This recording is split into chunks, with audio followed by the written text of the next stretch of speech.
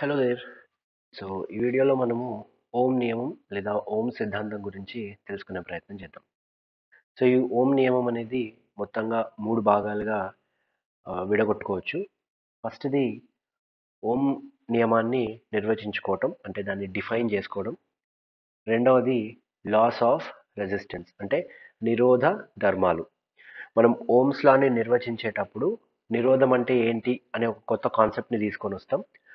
మనం ఓం నియమంలో తీసుకొచ్చిన నిరోధం అనే కాన్సెప్ట్ని దానికి సంబంధించిన ధర్మాలని లాస్ ఆఫ్ రెసిస్టెన్స్లో చూస్తాం. తర్వాత టెంపరేచర్ కోఎఫిషియంట్ ఆఫ్ రెసిస్టెన్స్ అనే ఇంకో టాపిక్ లోపలికి వెళ్ళడం జరుగుతుంది. సో ఈ ఓమ్స్ లా అనేది దీన్ని మనం ఎప్పుడైతే నిర్వచిస్తామో దాన్ని ఎప్పుడైతే డిఫైన్ చేస్తామో ఆ డెఫినేషన్లో కాన్స్టెంట్ టెంపరేచర్ అనే పదం చాలా ఇంపార్టెంట్గా ఉంటుంది. అంటే మారుతున్న ఉష్ణోగ్రతల దగ్గర ఓం నియమాన్ని మనం నిర్వచించలేం. We cannot define Ohm's law at variable temperatures so Ohm నియమాన్ని మనం నిర్వచించాలి అనుకుంటే ఉష్ణోగ్రతలలో ఏ విధమైన మార్పులు రావట్లేదు. అంటే ఉష్ణోగ్రత అనేది స్థిరంగా ఉంటుంది అని చెప్పి అనుకోవాలి.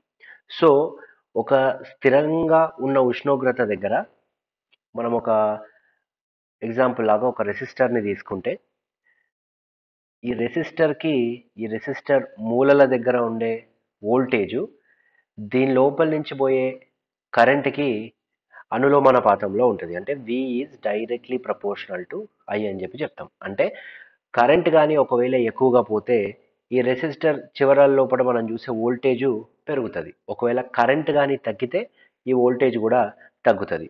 సో ఇప్పుడు ఈ సింబల్ని దీన్ని ప్రపోర్షనాలిటీ సింబల్ అంటాం. ఈ సింబల్ని కానీ మనం తీసేస్తే ఈజ్ ఈక్వల్ టు సింబల్ పెట్టుకుంటే ఈ ప్రపోర్షనాలిటీ సింబల్కి బదులు ఒక కాన్స్టెంట్ని పెట్టుకోవాల్సి వస్తుంది ఒక స్థిర సంఖ్యను పెట్టుకోవాల్సి వస్తుంది. ఆ స్థిర సంఖ్యని మనం ఇక్కడ ఆర్తో సూచిస్తున్నాం. దీన్నే మనము రెసిస్టెన్స్ అని చెప్పి పిలుచుకుంటాం. సో ఇప్పుడు మొత్తంగా ఓం నియమాన్ని నిర్వచిస్తే దీన్ని మ్యాథమెటికల్ ఫామ్లో V is equals to IR అని చెప్పి రాయొచ్చు. అండ్ ఇందులో వి అంటే వోల్టేజ్ ఐ అంటే కరెంట్ ఆర్ అంటే రెసిస్టెన్స్ సో ఇప్పుడు ఈ రెసిస్టెన్స్ అనేది ఒక ప్రపోర్షనాలిటీ కాన్స్టెంట్ లేదా ఒక స్థిర సంఖ్య అని చెప్పి చెప్పుకున్నాం. సో మరి దీనికి సంబంధించిన ఫార్ములా ఏంటి? దీనికి సంబంధించిన ఫార్ములాని ఇక్కడి నుంచే తెచ్చుకోవచ్చు. V is equals to IR అన్నాం. మనకు కావాల్సింది ఆర్ కాబట్టి వీని ఇక్కడనే ఉంచేసి ఐని వి కిందకి తీసుకొస్తే రెసిస్టెన్స్కి సంబంధించిన ఫార్ములా అవుతుంది అయితే ఈ ఫార్ములాని కానీ మీరు గమనిస్తే ఇక్కడ నిరోధం అనేది ఒక పదార్థ నిరోధం అనేది వోల్టేజ్కి కరెంట్కి సంబంధించిన నిష్పత్తి లాగా మనకు కనిపిస్తుంది. కానీ నిజానికి మనం మాట్లాడుకుంటే ఈ నిరోధం అనేది ఒక మెటీరియల్కి ఉండే రైట్ ఒక పదార్థానికి ఉండే గుణం. సో ఒక పదార్థానికి ఉండే గుణాన్ని మనం చెప్పేటప్పుడు ఆ పదార్థానికి సంబంధించిన ప్రాపర్టీస్ తోటే డిఫైన్ చేసుకోవాల్సి ఉంటుంది. సో ఇప్పుడు నేను ఇక్కడ ఈ రెసిస్టెన్స్ అని చెప్తున్నా కదా ఈ రెసిస్టెన్స్ని చూపించడానికి ఇది సింబల్ రైట్? రెసిస్టెన్స్ని చూపించడానికి ఇది సింబల్. కానీ నార్మల్గా రెసిస్టెన్స్ అంటే ఏంటి? రెసిస్టెన్స్ అనేది ఒక గుణం రైట్ ఒక గుణం. ఆ గుణం ఏ పదార్థానికైనా ఉంటుంది. సో మీరు ఒక నమూనా పదార్థాన్ని తీసుకోండి. అంటే ఒక స్పెసిమన్ని తీసుకోండి. సో ఈ ఈ నమూనాని మీరు గమనించినప్పుడు ఇది ఒక క్యూబాయిడ్ షేప్లో ఉందనుకోండి. దీన్ని తెలుగులో ఏమంటారో తెలీదు. సో ఇది ఒక క్యూబాయిడ్ షేప్లో ఉందనుకోండి. సో ఇట్లా ఉన్నప్పుడు దీనికి ఒక పొడవు ఉంటుంది. దీనికి ఒక పొడవు లెంత్ ఉంటుంది. అండ్ దీనికి ఒక మధ్యఛేద వైశాల్యం ఉంటుంది. అంటే ఏరియా ఆఫ్ క్రాస్ సెక్షన్ అని అంటాం.